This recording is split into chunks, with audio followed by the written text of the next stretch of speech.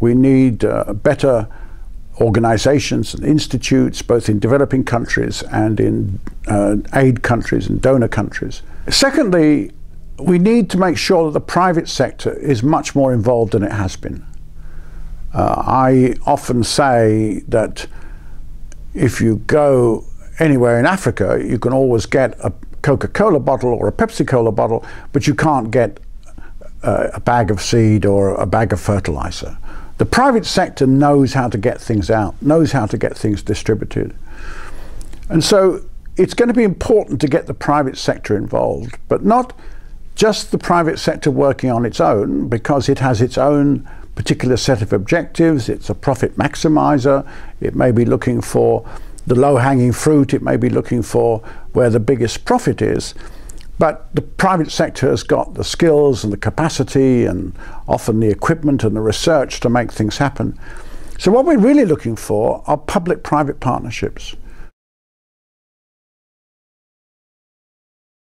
Uh, at a very simple level, a public private partnership is some kind of uh, partnership between a, a government agency and a private sector company.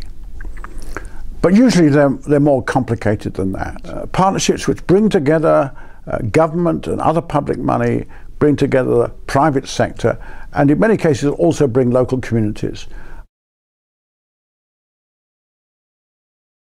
Let me give you an example of uh, a public-private partnership that's uh, being built up in, in southern Tanzania. Uh, and the partners are the Tanzanian government. They are the a program called AGRA, the Alliance for a Green Revolution for Africa, which is funded by the Gates Foundation and by DFID, the uh, Department for International Development in, in Britain, and by the Rockefeller Foundation. But they also involved a number of private sector actors. First of all, they are building up uh, seed companies.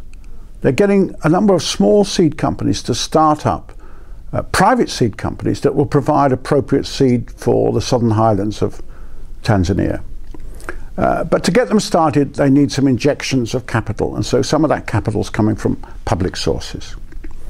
Now, when they produce the seed, they somehow have to get that seed distributed to the farmers. And there, what they're doing is encouraging agro dealers. Now, agro dealers are small shops, if you like, in the villages.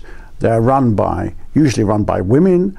They're private, but to get going again, they need a bit of capital. And of course, at the beginning of each year, they need some credit to get themselves started to buy in the produce in bulk that they're going to sell individually as they go along. Uh, and then, of course, when it comes to marketing, there will be a private market system which is being built up, which allows people to get the best uh, price they can for their produce. And the markets may be local, but the real opportunities are having markets that are national and that markets then connect nationally to the world as a whole.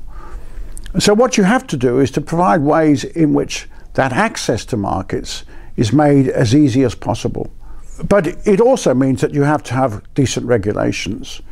You've got to have uh, a system of marketing which is understood, in which people know where they stand, uh, they know what the market is going to be like from week to week and month to month. And you also need a, an international system of trade and marketing that allows uh, for relatively easy access for developing country farmers.